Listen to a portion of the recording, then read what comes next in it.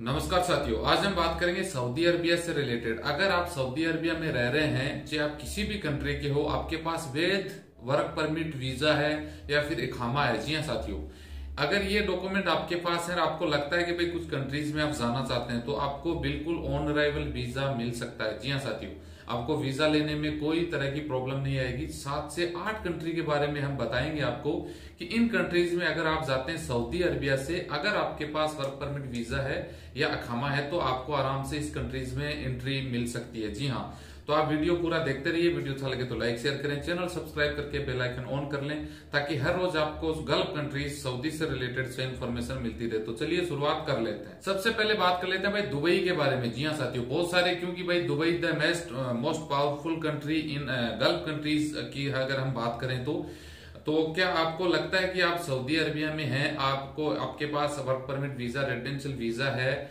और आपके पास खामा है तो आप क्या दुबई आ सकते हैं? जी हाँ। इसके बारे में कुछ स्पेशल प्रोसेसर होता है, उसके तहत ही आपको वीज़ा मिल पाएगा। बाकी सब कंडीशन में वीज़ा नहीं मिलता है। हालाँकि कुछ लोगों को इसमें वीज़ा मिल जाता है, बिल्कुल फ्री ऑफ़ कॉस्ट कोई पैसा नहीं लगेगा।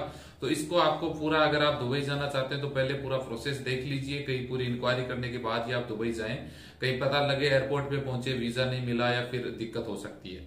तो दुबई के अलावा और दूसरी कंट्री की बात करें ट्यूनिशिया जी हाँ साथियों ट्यूनिशिया नॉर्थ अफ्रीका का एक देश है आप सबको पता ही होगा।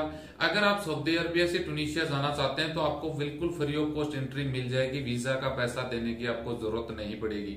हाँ आपके पास वेट रेजिडेंशियल खामा या वीज़ा आपके पास होना ज़रूरी है सऊदी अरबिया से रिलेटेड। आगे हम बात कर लेते हैं जॉर्जिया के बारे में। जी हाँ साथियों, जॉर्जिया आपको पता है खूबसूरत कंट्री है, लेकिन ये जीसीसी वेलिड अखामा को फ्री एंट्री वीज़ा दे देता है, यानी ऑन ड्राइवल वीज़ा दे देता है, अगर आप सऊदी अरबिया से जॉर्जिया जाना चाहते हैं तो।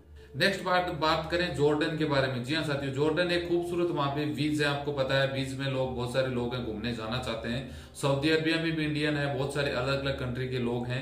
अगर आप जॉर्डन जाना चाहते हैं तो आपको बिल्कुल बॉर्डर पे वीज़ा मिल जाएगा सऊदी से जॉर्डन जाने के लिए। ऑन ड्राइवल वीज़ा जिसको बोल सकते हैं। आपको बिल्कुल टेंशन लेने की ज़रूरत नहीं होगी। हम ओमान की बात कर लेते हैं भाई। ओमान में भी सेम यही है। अगर सऊदी अरबिया से आप ओमान जाते हैं इकामा के वैलिड अखामा के साथ में तो आपको ऑन राइवल वीज़ा मिल जाता है एयरपोर्ट के ऊपर, आपको वीज़ा लेके जाने की ज़रूरत नहीं होती है। आगे हम बहरीन की बात कर लेते हैं। बहरीन का भी सेम प्रोसेस यही है कि भाई आपको सऊदी से उड़ने से पहले वीज़ा की ज़रूरत नहीं होती है, आपको वहाँ पे ऑन राइवल वीज़ा बहरीन भी दे देता है सऊदी से। जी हाँ। लास्ट में बात कर लेते हैं कुवैत जी हाँ साथियों सऊदी अरबिया से आप कुवैत जाते हैं तो आपको ऑन राइवल वीज़ा मिल सकता है बिना किसी टेंशन के कुवैत एयरपोर्ट के ऊपर। आपको वहीं से वीज़ा लेने की ज़रूरत नहीं पड़ेगी। तो बस साथियों, ये सात कंट्रीज़ के बारे में मैंने बताया। अगर आप सऊदी अरबिया से इन कंट्रीज़ में जाना चाहते हैं तो ऑन अराइवल वीज़ा की व्यवस्था ये कंट्रीज़ देती हैं सऊदी अरबिया के लिए। बाकी इंडिया से ऐसा नहीं है, ओमान ने भी, हालाँकि इंडिया सब कंट्रीज़ के लिए दस दिन का वीज़ा फ्री कर दिया ऑन अराइवल वीज़ा लगेगा नहीं पैसा। कतर भी ऑन अराइवल वीज़ा देता है इंडिया को, आप सबको पता ही है। बाकी और कंट्रीज़ हैं, उनमें भी इंडिया का नंबर आता है, ऐसी कोई बात नहीं है। बाकी अगर सऊदी से जाते हैं तो ये ऑप्शन मैंने बताया। वीडियो अच्छा लगे लाइक शेयर करें, मिलते हैं नेक्स्ट वीडियो में। अच्छी जानकारी के साथ, जय हिंद, जय